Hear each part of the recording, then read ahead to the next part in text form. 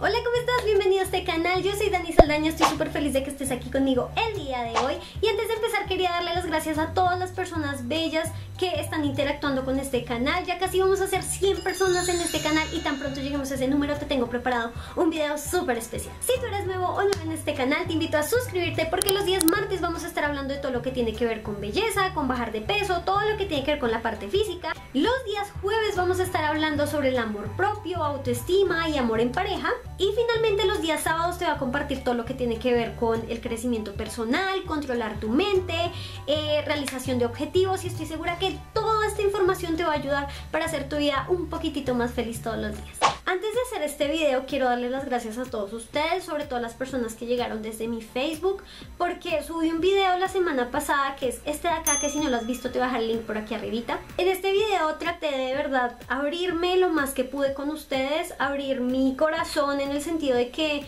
eh, pensé en algún momento que solamente yo estaba mal, pensé que todas las niñas a mi alrededor, todas las personas se sentían bien con ellos mismos, eh, vivían su vida tranquilos y que la que tenía el problema y la que se acomplejaba por todo era yo, pero realmente después de ver sus comentarios en el video anterior sé que muchas personas nos sentimos en ese camino, en ese camino de odio a sí mismo, de preocupaciones, de que todo me va a salir mal y por eso preparé el video de hoy.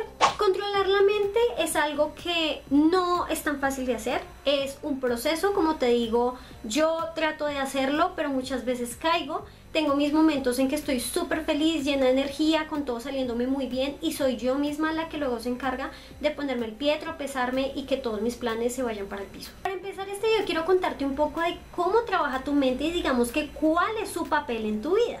Tu mente se encarga de protegerte. Si tu mente es tu guardaespaldas, es esa persona que te dice, Dani, esta calle está como muy sola. Mejor vayámonos por otro lado porque nos pueden robar. Dani, mira, yo creo que no deberías comer ese tipo de cosas porque ya nos ha pasado antes que nos hace daño y nos vamos a enfermar. No te la comas. Ese tipo de cosas hace tu mente y siempre está precavida de cuidado, un charco, cuidado, vamos a llegar tarde, cuidado, mira hacia ambos lados. Entonces siempre está esa vocecita como lista para salvar tu vida. Quiero que pienses en tu mente como si fuera una mamá sobreprotectora. Tú sabes que esa persona tiene los mejores deseos para ti, pero llegan momentos en que se vuelven desesperantes y te están desafectando negativamente.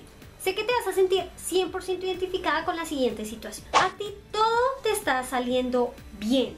Mira, te levantaste, tu piel está hermosa, te levantaste temprano, tu mamá te tenía un súper desayuno, llegaste a tiempo a la universidad, fue súper en el parcial, mejor dicho, día mágico, espectacular y feliz. Día 1. En el día 2 resulta que tuviste un día igual de bueno y tú dices, uy, qué chévere, estoy de buenas. Bien, día 3, otro día espectacular.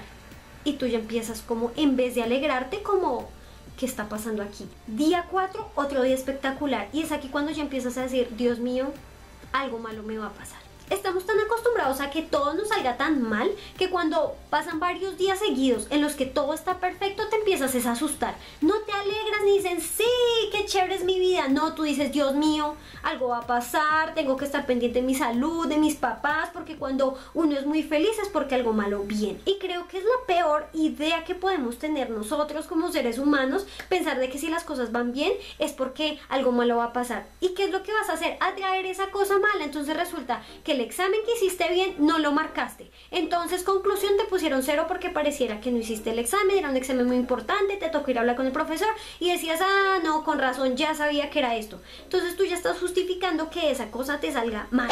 El problema que tiene la mente es de que te hace ver películas donde no las hay.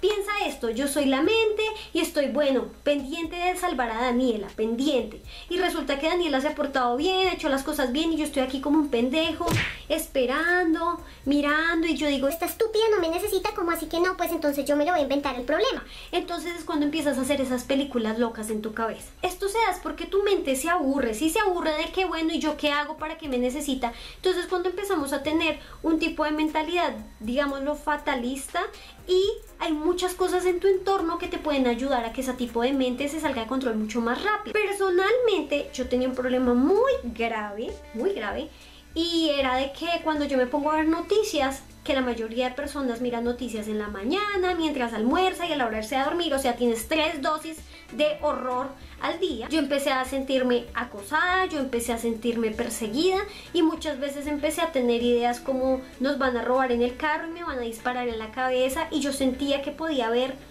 cuando me disparaban. Yo sentía que no podía salir de mi casa porque tenía miedo, miedo de que llegara alguien y me, me puñalara.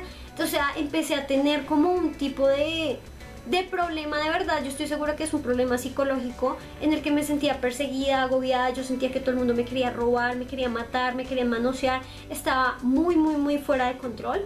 Y como les digo, yo después empecé a leer, ir a seminarios y cosas como para tratar de calmarme con mis problemas y aprendí que una de las cosas que tú puedes hacer, como te digo, esto es una sugerencia, sé que esto puede ser un poquito controversial, pero yo lo que hago realmente es de que yo no leo ningún periódico ni noticias. Y sé que tú puedes decir, ay, con razón es tan bruta, usted no sabe nada de actualidad, usted no sabe nada de temas políticos, usted no sabe qué está pasando en el mundo, pero es que hay otras formas de informarse. También depende de dónde está sacando la información. Por ejemplo, en mi país hay muchos, muchos periódicos amarillistas. ¿Esto qué quiere decir? Por si tú no conoces esta palabra bebé, significa que son periódicos que sacan todo lo sangriento, como lo morboso de la noticia, lo ponen en primera plana y siento que les falta, mejor dicho, con cada tomo sacar un dedo de alguien porque es asqueroso. Yo siento que ese tipo de periódicos escurren sangre. Asimismo, hay noticieros que son también muy escandalosos y tratan de sacar la noticia lo más horrible, lo más asqueroso. Y si tú te pones a analizar un noticiero, es como 90% de eh, noticias horribles, cosas malas, pobreza, desigualdad, hambre, sangre, violación, etcétera. Síguele, síguele, síguele. Y cosas, digamos, de información de, hey, eh, descubrieron esta nueva cura para tal enfermedad. Oye, mira que es que una persona hizo tal cosa buena por el mundo, descubrieron tal cosa. Ese tipo de cosas tiene de verdad un porcentaje mínimo porque lo que llama la atención y lo que le gusta a la gente es lo rojo, lo horrible, lo que te hace sentir cosas malas. Entonces yo tomé la decisión desde hace muchos años de que yo no veo noticias. De verdad, como te digo, también depende en qué canales y qué cosas tú puedes investigar un poco más y ver qué tipo de cosas deseas consumir. Y cuando yo dejé de ver noticias y de leer ese tipo de periódicos que como te digo solo quieren sacar lo peor del mundo, me empecé a relajar mucho más.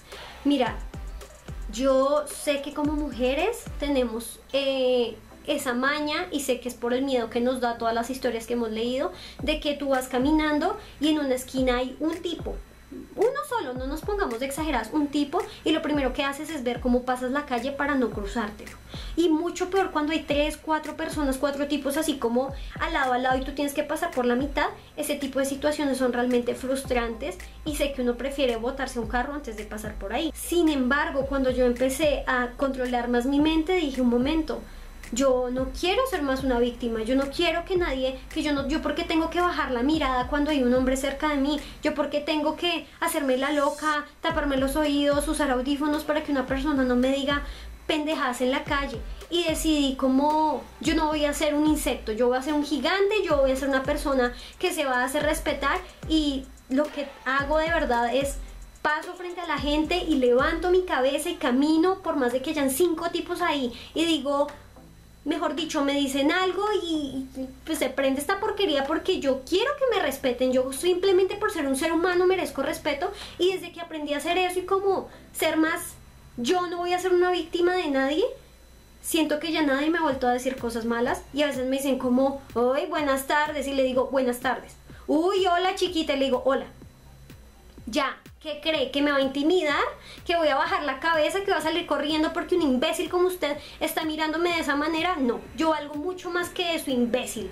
Así que de verdad lo que hice fue tratar de despejar mi mente y quizás dejar de pensar que a veces hay gente tan mala y eso me ha permitido abrir los ojos de una manera muy especial. El video del día de hoy tiene como objetivo si tú lo deseas, por supuesto, ponerte el ejercicio, como te digo, de bajarle a toda esa información mala que nos llega, a toda esa negatividad, a todo ese odio, eh, bajarle un poco a eso y, claro, seguir informados y demás, pero que analices desde qué fuentes estás sacando tu información, qué canales estás viendo, con qué estás programando tu mente, ¿sí?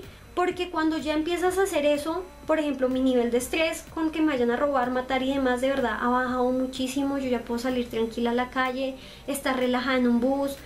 de verdad antes era algo que me generaba tanta ansiedad que yo sentía que no, que no podía salir a ningún lado y eso me ayudó mucho a mí, así que puede que también te ayude un poco en dado caso de que tu mente pues sea un poco como la mía, tan, tan ansiosa, tan desesperada y el hecho de ser así un poco más fuerte y darme cuenta que no todo el mundo es tan malo, también me ha hecho darme cuenta de, que muchas veces le oía a cualquier tipo de hombre, si me entiendes, no se tenía que ver como un indigente ni nada de eso, sino un muchacho normal, de verdad, vestidito y todo, y yo también le oía a él simplemente porque pues era un hombre.